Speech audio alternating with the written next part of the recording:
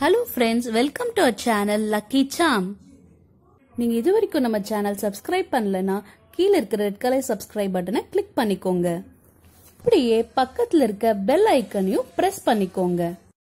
அப்பதான் நம்ம சேனல்ல வர புது புது வீடியோஸ் உங்களுக்கு உடனுக்குடன் நோட்டிஃபை ஆகும். வாங்க இப்ப நம்ம வீடியோக்குள்ள போலாம். ஹாய் ஃப்ரெண்ட்ஸ் இன்னைக்கு நம்ம ஆக்ரா பேத்தா எப்படி செய்யறது அப்படின்னு பார்க்கலாம். இது வந்து நார்த் இந்தியன் ஸ்வீட்டு இது வந்து ஆக்ரால தான் ஆரிஜின் ஆனனால இது வந்து ஆக்ரா பேத்தா அப்படின்னு சொல்லிட்டு இதுக்கு பேர் வந்துச்சு. இந்த ஸ்வீட் செய்யறதுக்காக தேவையான பொருட்கள் பார்க்கலாம். வெள்ளை பூசணி எலுமிச்சைப்பழம் ஏலக்காய் சர்க்கரை. இது போக உங்க வீட்டில் ஏதாவது எசன்ஸ் இருந்துச்சுன்னா அதையும் எடுத்துக்கலாம். வாங்க இப்ப எப்படி செய்யறதுன்னு பார்க்கலாம். அதுக்கு ஃபர்ஸ்ட் வெள்ளை பூசணியோட தோல் ஃபுல்லா எடுத்துட்டு நடுவுல இருக்க அந்த விதையும் எடுத்துட்டு நல்லா வாஷ் பண்ணி வச்சுக்கலாம். அதைய குட்டி குட்டியா எந்த ஷேப்ல உங்களுக்கு வேணுமோ அந்த ஷேப்ல கட் பண்ணிக்கோங்க. நீங்க குட்டியா தான் கட் பண்ணணும்னு இல்ல பெருசா கூட கட் பண்ணிக்கலாம். நான் வந்து இங்க சர்க்கிள் சர்க்கிளா கட் பண்ணிக்க உங்களுக்காக கியூப்ஸா கூட கட் பண்ணி காமிக்கிறேன். உங்களுக்கு பிடிச்ச ஷேப்ல உங்களுக்கு பிடிச்ச சைஸ்ல நீங்க கட் பண்ணிக்கலாம். தின்னா திக்கா எப்படி வேணா இருக்கலாம். நான் இப்ப சர்க்கிளா கட் பண்ணி வச்சிருக்கிறதுல செய்ய போறேன். இந்த சர்க்கிளா கட் பண்ணி வச்சிருக்க பம்கின் வந்து கால் கிலோ பம்கின் அளவுக்கு இதான் எடுத்திருந்தேன். அதுக்கு ஒரு லெமன் வந்துட்டு ஸ்பீஸ் பண்ணி வச்சிருக்கேன். என்னோட லெமன் ரொம்ப குட்டியா இருந்தனால ஒரு லெமன் எடுத்திருக்கேன். இல்லைன்னா நீங்க கால் லெமன் எடுத்தா போதும். இப்ப நம்ம பிழிஞ்சு வச்சிருக்க லெமன்ல ஒரு கப் அளவுக்கு தண்ணி ஊத்திக்கோங்க. இந்த லெமன் தண்ணியில தான் நம்ம ரவுண்ட் ரவுண்டா கட் பண்ணி வச்சிருக்க எல்லா பம்கினையும் அதுல போட்டு ஊற வைக்க போறோம். பிப்டீன்ல இருந்து டுவெண்ட்டி மினிட்ஸ் வரைக்கும் நல்லா ஊற வச்சுக்கோங்க. இப்ப டுவெண்ட்டி மினிட்ஸ் ஆயிடுச்சு. நம்மளோட ஒயிட் பம்கின் எல்லாம் லெமன் ஜூஸ்ல நல்லா ஊறிடுச்சு. இதைய நாலு தடவை தண்ணியில அலாசி நல்லா கழுவி எடுத்து வச்சுக்கலாம்.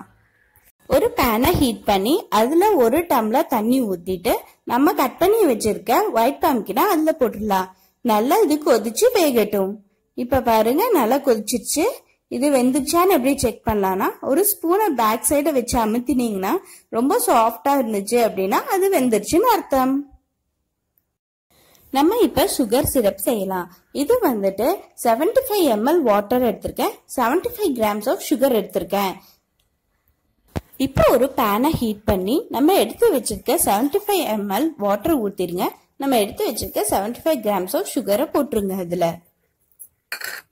நான் இதுல few drops of colouring agent add பண்றேன். உங்களுக்கு கலரிங் ஏஜென்ட் வேண்டாம்னு நினச்சிங்க அப்படின்னா நீங்கள் வந்து கலர் ஆட் பண்ணாமலேயும் இருக்கலாம். இல்லை கலர்ஃபுல்லாக இருக்கணும்னு நினச்சிங்கன்னா இப்போ organic colouring foods colouring agents எல்லாம் கூட விற்க ஆரம்பிச்சிட்டாங்க. நீங்கள் அதை வாங்கி கூட ஆட் பண்ணிக்கலாம். இல்லை நேச்சுரலாக வேணும்னா சாஃப்ரான் ஆட் பண்ணிங்களா அழகான ஆரஞ்சு கலர் வரும். இப்போ இந்த ஸ்டேஜில் நான் கொஞ்சமாக ஏலக்காய் சீட்ஸை ஆட் பண்ணுறேன் இந்த ஏலக்காய் சீட்ஸ் வந்து ஏலக்காவை வந்து ஓப்பன் பண்ண உடனே அப்படியே இருக்கும்ல அதான் வந்துட்டு எதுவுமே தட்டாமல் அப்படியே நான் போட்டிருக்கேன். உங்களுக்கு வேணும்னா பொடிச்சு போடலாம். இப்படியே முழுசாக போட்டால் இனி நல்லா இருக்கும். இப்போ நல்லா கலக்கி விட்டுக்கோங்க. இந்த சுகர் சிரப் பதமாக வந்துருச்சா? அப்படின்னு எப்படி பார்க்கலான்னு பாருங்க. இப்படி எடுத்து வச்சீங்க அப்படின்னா அந்த ட்ராப்ஸ் எல்லாம் ஃபாஸ்ட்டாக விழுந்துட்டு கடைசி ஆக ஆக ஸ்லோவாக விழுகும். கடைசி ட்ராப் விழுகும் போது உங்களுக்கு திக்காக விழுகும். இந்த மாதிரி வந்த பதம் போதும். இப்போ நம்ம ஆஃப் பண்ணிடலாம். இப்போ நம்ம அதில் ரெண்டு சொட்டு லெமன் ஜூஸ் ஊற்றிக்கலாம் அது கூடவே நான் வெண்ணிலா எசன்ஸ் கொஞ்சமா ஊத்திக்கிறேன். நல்லா ஊத்தி கலக்கி விட்டுக்கோங்க. இப்ப கலக்கி விட்டுட்டு அதுக்கப்புறம் திரும்பவும் ஆன் பண்ணிட்டு அப்புறமா நம்ம எடுத்து வச்சிருக்க ஒயிட் பம்கின் எல்லாத்தையும் போட்டுடுங்க. நல்லா கலக்கி விட்டுட்டு கொதிக்க விடுங்க. அது வந்துட்டு ஒரு ரெண்டுல இருந்து மூணு நிமிஷம் வரைக்கும் நல்லா கொதிக்கணும். அப்பதான் அந்த ஜீரா எல்லாத்தையும் நம்மளோட வெள்ளை பூசணிக்கால உள்ள போகும். இப்போ நல்லா கொதிச்சு வருது. இப்போ வந்துட்டு நம்மளோட ஜீரா எல்லாம் உள்ளே போயிருக்கா அப்படின்னு பார்க்கலாம். இப்போ இது ரெடி ஆயிடுச்சு. நம்ம இதை வந்துட்டு ஆஃப் பண்ணிட்டு ஒரு சர்விங் பவுலுக்கு மாத்திடலாம். நார்மல் டெம்பரேச்சர் வர வரைக்கும் வெயிட் பண்ணோம். நான் இப்போ இது எல்லாத்தையும் ஒரு சில்வர் பிளேட்ல ட்ரான்ஸ்ஃபர் பண்ணிருக்கேன். ஏன்னா இது ரொம்ப சூடா இருந்துச்சு அப்படிங்கறக்காக இது வந்து நார்மல் டெம்பரேச்சர் வர வரைக்கும் வெயிட் பண்ணலாம். நல்லா சூடு ஆறட்டும். நல்லா ஆறினதுக்கு அப்புறம் மேல பாதாம துருவி அதை வந்து போட்டு கார்னிஷ் பண்ணிக்கலாம். நீங்க இது கூட பிஸ்தா இல்ல கேஷ்யூ நட் எது வேணா ஆட் பண்ணிக்கலாம். சாஃப்ரான் ஆட் பண்ணீங்கன்னா செம்ம டேஸ்டா இருக்கும். இப்ப நம்மளோட ஆக்ரா பேத்தா ரெடி ஆயிடுச்சு. இதை இப்படியே ரூம் டெம்பரேச்சர்ல வச்சீங்கன்னா ஒன் மந்த் வரைக்கும் கெடாது. அதே ஃப்ரிட்ஜ்ல வச்சீங்கன்னா டூ டு த்ரீ மந்த்ஸ் வரைக்கும் கெடாது. அவ்வளோ டேஸ்டியா இருக்கும். இந்த ஈஸியான ஸ்வீட்டை நீங்க வீட்டில் செஞ்சு பார்த்துட்டு எப்படி இருந்துச்சுன்னு கமெண்ட் செக்ஷன்ல சொல்லுங்க.